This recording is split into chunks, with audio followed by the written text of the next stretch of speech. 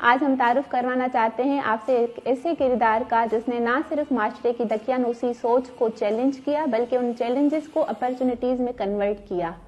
आइए आज हम आपसे मिलवाते हैं थाना दरक्षा में तैनात एक एलपीसी का जिसने ना सिर्फ़ अपनी तालीम मुकम्मल की, बल्कि सिंध पुलिस फोर्स ज्वाइन करके अपने फ़राइज बखूबी सर अंजाम दे रही है।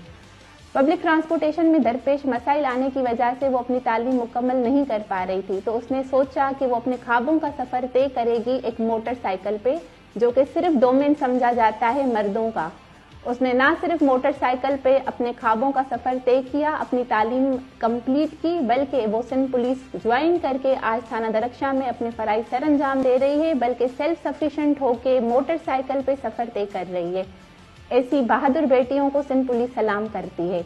आइए, आज हम जानते हैं मुनीमा की कहानी उसी की जबानी।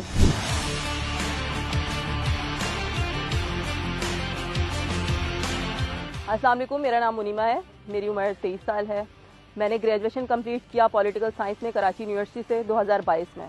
यूनिवर्सिटी जाने आने में मुझे काफ़ी दुश्वारी का सामना करना पड़ा कन्वेंस की वजह से, क्योंकि सम टाइम्स बसेस नहीं मिलती ऑटो रिक्शा और कैब वगैरह आना भी ज़रा मुश्किल हो जाता है तो मैंने डिसाइड किया क्यों ना बाइक चलाना सीख लूँ और खुद आना जाना इजीली कर सकूँ। तो मैंने अपने भाई से बाइक चलाना सीखी और फिर जिसकी वजह से मैं इजीली फिर डेली यूनिवर्सिटी वगैरह जा सकती थी।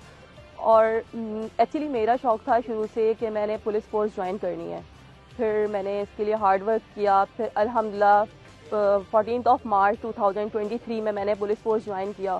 जैसा कि आप सब जानते हैं कि पुलिस फोर्स पुलिस के जवान 24 घंटे आप लोग की मदद के लिए मौजूद होते हैं। तो किसी भी टाइम आपको ड्यूटी के लिए कॉल करके बुलाया जा सकता है।